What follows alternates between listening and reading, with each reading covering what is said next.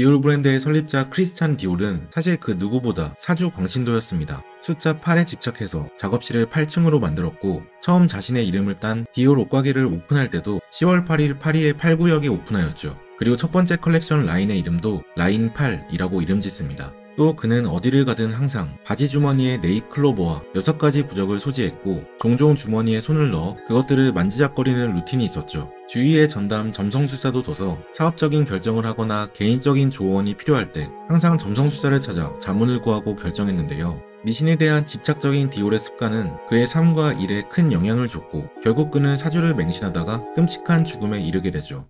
점성술사의 예언 대부분의 많은 위인들이 가난한 유년 시절을 거친 것과 달리 디올은 태어났을 때부터 부유했습니다. 그는 프랑스의 그랑빌 지역에서 1905년 1월 21일에 태어났는데 디올의 아버지 모리스 디올은 비료 제조회사의 CEO로 많은 돈을 축적해둔 상태였죠. 디올의 어머니 마들렌 디올은 고급 취향을 가지고 있어 패션이나 인테리어 감각이 뛰어났고 남편의 돈을 바탕으로 화려하게 집을 꾸몄습니다. 그녀는 gardening에도 관심이 많았는데 어린 디올은 엄마가 가꾸는 정원을 보며 꽃에 관심을 갖게 되었고 이는 패션 디자인에도 영향을 미쳐 이후 꽃을 활용한 여러 의상을 개발하는 계기가 되었죠. 특히 디올은 은방울 꽃을 가장 좋아해서 나중에는 전담 플로리스트가 1년 내내 은방울 꽃만 기르기도 했습니다. 원래 디올의 부모님은 그랑빌 지역의 도심에 살고 있었지만 아내가 이사 가자고 하여 둘은 해안가에 롱브 빌라로 이사 갔는데요. 롱브는 나침반 별을 뜻하는 말로 빌라 1층 입구에 있는 큰 별을 따 롱브 빌라라고 불렸죠. 이곳에서 디올은 한 점성술사를 운명적으로 만나게 됩니다. 그는 손금을 읽어주는 사람이었는데 디올의 손을 유심히 살펴보더니 때때로 가난에 시달릴 수도 있다고 얘기합니다.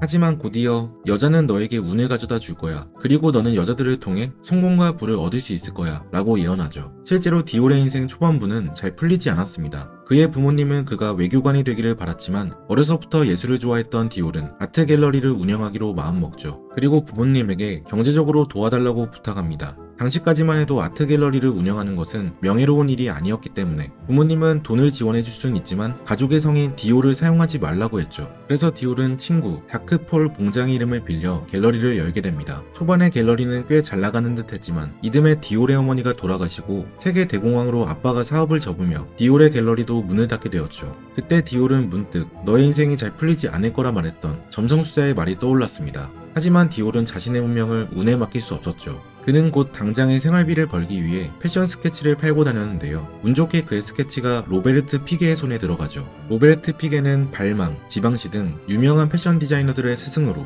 디올의 스케치를 보고는 그의 재능을 알아본 후 곧바로 그를 고용해 자기 가게에서 일하도록 했습니다. 당시 디올은 로베르트 피게에게 심플함의 미덕에 대해 배우는데요. 의상의 진정한 고급스러움은 화려한 장식이 아니라 단순한 디자인에서 나온다는 걸 깨닫게 되죠. 샤넬과의 경쟁, 제2차 세계대전이 일어나면서 디올은 군대를 갔다가 제대한 후 더 큰 의복 전문점 류시엥 르롱 밑에서 일하기 시작하는데요. 류시엥 르롱은 나치 관료와 아내들을 위해 옷을 제작하고 있었습니다. 사실 당시 전쟁 중에 운영하던 대부분의 브랜드는 나치에게 의상을 공급하면서 살아남을 수 있었죠. 한편 디올에게는 캐서린이라는 동생이 한 명 있었는데 그녀는 레지스탕스의 일원으로 나치에게 붙잡혀 라벤스브뤼크 강제수용소에 감금되어 있었습니다. 전쟁이 끝나고 집으로 돌아온 캐서린은 얼굴을 알아보기 힘들 만큼 수척해져 있었죠. 디올은 동생을 위해 식사를 정성껏 준비했지만 그녀는 수저를 들지 못할 정도로 몸이 아픈 상태였고 결국 프로방스로 요양을 떠나게 됩니다. 이후 몸을 회복한 캐서린은 gardening에 열정을 보이던 엄마처럼 플로리스트로 일을 하죠. 한편 디올은 1947년 자신의 패션하우스를 설립하고 미스 디올이라는 향수를 출시합니다. 미스 디올은 동생 캐서린에게 영감을 받은 것으로 당시 디올이 향수의 이름을 고민할 때 동생이 갑자기 방으로 들어오자 친구 한 명이 짜잔 미스 디올 등장이라고 외친 적이 있었죠. 여기에 영감을 받은 디올은 자신의 첫 향수를 미스 디올이라는 이름으로 출시하게 됩니다. 디올의 사업은 처음에는 갈 길을 잃고 헤매는 듯 하다가 여성의복 브랜드를 출시하고 이에 대한 컬렉션을 선보이자 어렸을 적 점성술사의 말대로 여성으로 인한 성공을 이루게 됩니다. 이때 디올의 성공을 질투한 한 사람이 있었는데 바로 코코 샤넬이었죠. 사실 샤넬과 디올은 패션 철학이 극과 극이었습니다. 샤넬은 여성들이 입기 편하고 실용적인 옷을 만들어야 된다고 생각한 반면 디올은 옷의 기능적인 측면보다 심미적인 측면을 강조했고 우아한 곡선미와 볼륨을 중요시했습니다. 그런 디올의 디자인에 샤넬은 거의 악플 수준의 비난을 퍼부었는데 디올은 의상을 디자인하는 게 아니라 그냥 여자의 몸에 천을 더 씌우는 거예요. 디올의 옷을 입은 사람들은 정말 우스꽝스러워 보여요. 여자를 잘 알지도 못하고 여자를 사귀어 본 적도 없는 남자가 디자인한 여성 의류를 입고 싶을까요? 물론 샤넬은 원래 냉소적인 성격이라 디올만 욕했던 게 아니라 모든 디자이너를 비난하고 다녔습니다. 발렌시아가 디자인은 논리가 없다고 비난했고 스키아파렐리의 옷에는 더럽다고 불을 붙이기도 했죠. 샤넬은 여자 옷을 여성스럽게 만들기보다 남성적인 디테일을 추가하는 걸 좋아했는데 그럼으로써 남성들의 권력을 여성들이 뺏을 수 있다고 생각했죠. 그녀는 코르셋을 던져버리고 남성복이나 스포츠웨어에서 영감을 받아 여성 옷을 제작했습니다. 한편 디올은 이런 샤넬의 불같은 성격을 알고 있었기 때문에 그의 비난에 반응하지 않았고 계속하여 자기만의 색깔을 담은 디자인을 선보였습니다. 하지만 곧 사주가 그의 인생을 180도 바꾸는 사건이 생기죠.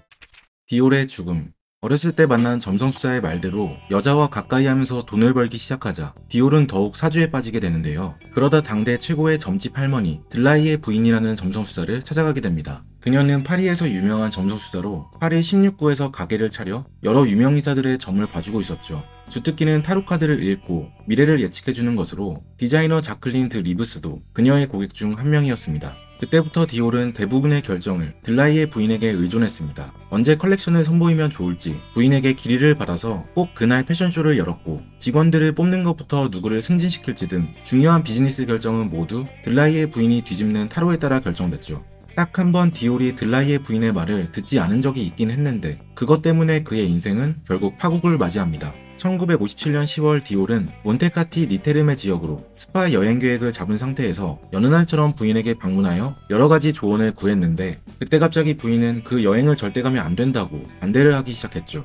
평소 같으면 그녀의 말을 듣고 취소했겠지만 원래부터 스파를 너무 좋아했던 디올은 그녀의 조언을 무시한 채로 여행을 떠났습니다. 그는 그 여행에서 다시 돌아올 때 싸늘한 주검이 되어 있었는데요. 스파를 즐기다 그곳에서 심장마비로 죽게 된 것입니다. 디올의 죽음 후로 디올 패션하우스는 디자이너 입생 로랑이 이끌게 되었습니다. 입생 로랑은 당시 최연소 수석 디자이너로 승진했고 이후 디올 쇼를 그만의 스타일로 변화해 나갔죠.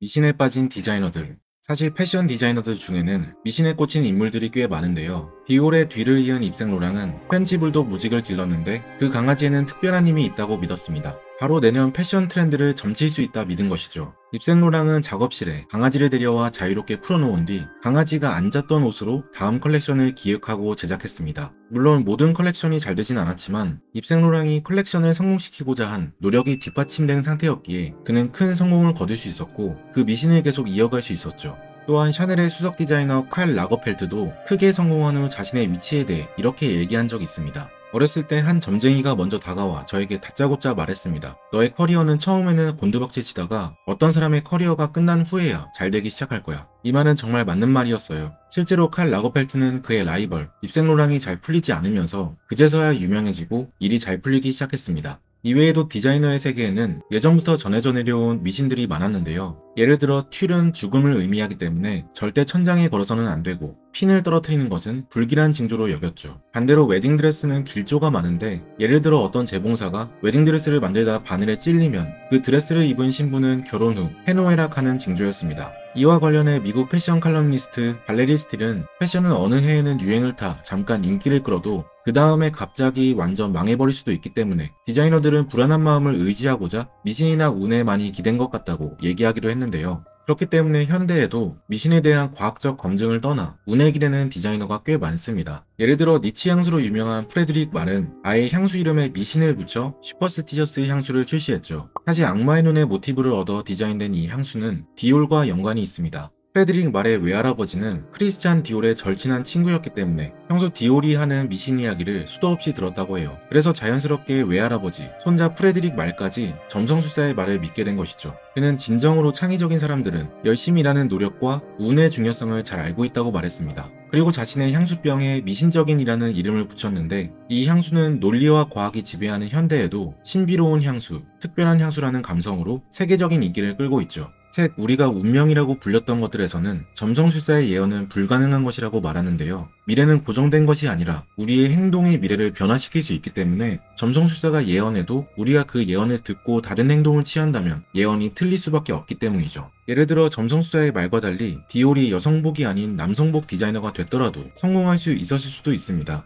하지만 많은 사람들이 사주나 미신이 맞다고 느끼는 경우가 많은데 그건 믿기 때문에 스스로 행동을 더 강화하는 경우가 많다고 합니다. 예언을 듣고 난 후 그걸 진심으로 믿은 상태에서 예언대로 행동하다 보니 자연스럽게 실현돼 버리는 것이죠. 사주와 미신이 단지 비과학적이라고 의미가 없다고 볼 게 아니라 결국 중요한 건 미래를 변화시킬 수 있다는 내면의 믿음이기 때문에 미신에 대한 믿음도 우리의 행동을 촉진할 수 있다면 의미 있는 믿음이 되는 것입니다. 지금까지 책트폭행이었습니다. 오늘 함께 읽은 책 우리가 운명이라고 불렀던 것들 저자 슈테판 클라인